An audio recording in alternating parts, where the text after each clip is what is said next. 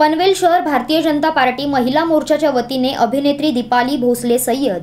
हिने पंतप्रधान नरेंद्र मोदींबद्दल केलेल्या वक्तव्याचा निषेध करत दीपाली सय्यद यांच्यावर गुन्हा दाखल करा अशी मागणी करण्यात आली आहे. या मागणीचे लेखी निवेदन महिला मोर्चाच्या तालुकाध्यक्षा रत्नप्रभा घरत आणि पनवेल महापालिकेच्या उपमहापौर सीताताई पाटील यांच्या प्रमुख उपस्थितीत हे निवेदन पनवेल शहर पोलीस ठाण्याचे वरिष्ठ पोलीस निरीक्षक विजय कादबाने यांना सोमवारी देण्यात आले. अभिनेत्री दीपाली सय्यद यांनी पंतप्रधान नरेंद्र मोदी यांच्याबद्दल आक्षेपार्ह विधान केले.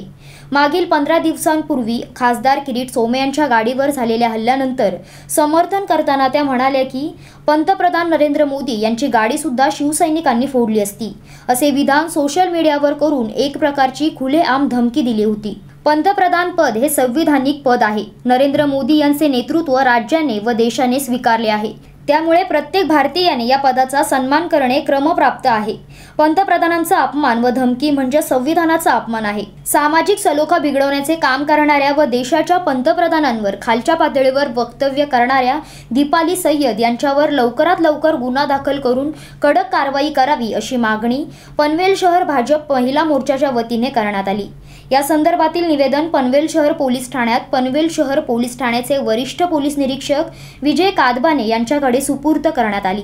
यावेळी पनवेल महापालिकेच्या प्रभाग समिती डच्या सभापती ॲडव्होकेट वृषाली वाघमारे नगरसेविका चारुशिला घरत दर्शना भोईर हेमलता म्हात्रे रुचिता लोंढे महिला मोर्चाच्या पनवेल शहर अध्यक्षा वर्षा नाईक माजी नगरसेविका नीता माळी सुहासिनी केकाणे स्नेहल खरे अंजली इनामदार सपना पाटील यांच्यासह महिला मोर्चाच्या पदाधिकारी उपस्थित होत्या.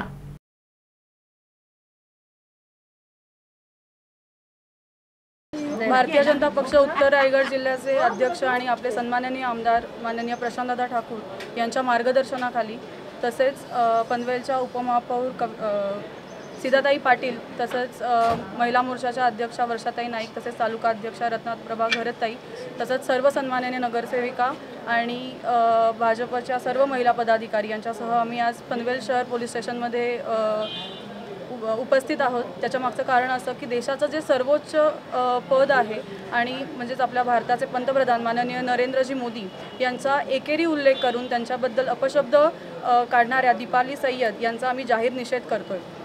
पक्ष राजकारण आणि मतभेद हे एका ठिकाणी पण देशाच्या सर्वोच्च पदाबद्दल असं अवाक्षर काढणं म्हणजे ही एक हीन विचारसरणीची एक व्याख्या व्याख्या होते असं आमचं मत आहे. आणि आपल्या पक्षाच्या सर्वोच्च पदापर्यंत पोचण्यासाठी जर अशा प्रकारची जर कोणी जर उल्लेख भारताच्या पंतप्रधानांबद्दल करणार असेल तर आम्ही हे कदापि सहन करणार नाही. आणि आणि हे काय चाललं आहे उचलली जीभ आणि लावली टाळाला हा कुठलाही प्रकार आम्ही इथे सहन करणार नाही. आणि यासाठी आम्ही आज भारतीय जनता पक्षाच्या महिला मोर्चा पै पनवेल शहर मंडळातर्फे इथे निवेदन करण्यासाठी आलेलो होतं की तत्काळ ह्या या विषयाकडे पोलीस प्रशासनाने लक्ष घालावं आणि तात्काळ दीपाली सय्यद यांच्यावर कारवाई करावी ही एवढीच मागणी करण्यासाठी आम्ही आज इकडे आलो